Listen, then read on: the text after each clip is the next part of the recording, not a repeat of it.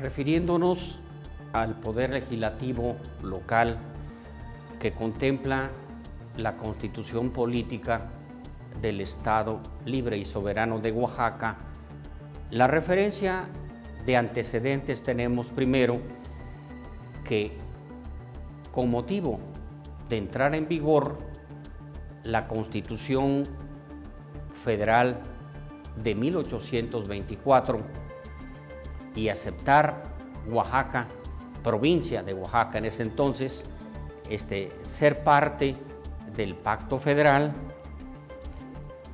entra en vigor, elabora y entra en vigor la primera constitución del Estado Libre y Soberano de Oaxaca el 10 de enero de 1825. Y más adelante, la Federación, interviniendo hasta armadamente, somete a Oaxaca para que Oaxaca entrara de nueva cuenta al pacto federal.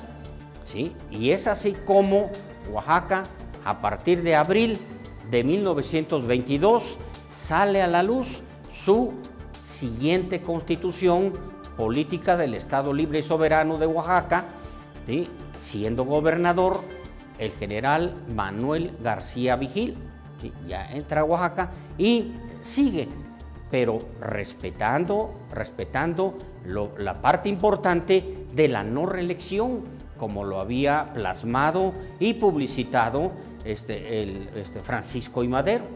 Bien, entonces sigue así, pero resulta ahora que sí, ya permiten la reelección de los diputados locales de los presidentes municipales, como si muy bien hubieran hecho su papel en el trienio, porque uno y otro son de dos, cada uno tres años, son los que asumen eh, el cargo de diputado por el principio de representación proporcional y por el de mayoría relativa, así como los presidentes municipales.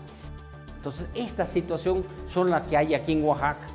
Realmente dígame qué presidente, qué diputado local hizo o ha hecho buen, buen papel de lo que le corresponda para que tenga intenciones, para que tenga autoridad moral para volverse a reelegir y que el pueblo lo acepte.